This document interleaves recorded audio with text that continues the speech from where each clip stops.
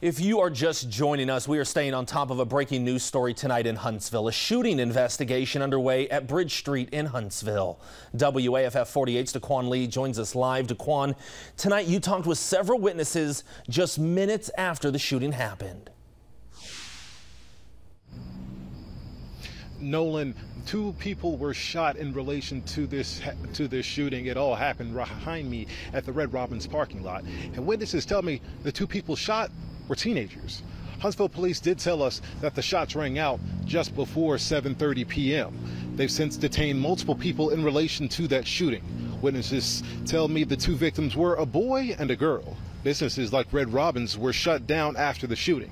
But people who were inside the Cinemark Theater during the shooting tell me the movies kept playing without customers being told what was going on. Harrison Cernaway and Casey Fast say they're concerned that their information was coming from outside sources. I got texts from my mom and like 20 friends that said there's a shooting here, right? But the movie theater didn't say anything about like oh, is the if the situation's even here, or is it safe to leave or not? And I didn't know like if the shooters all the way down Bridge Street, or they like in the theater, so I didn't know if it was safe to leave or not.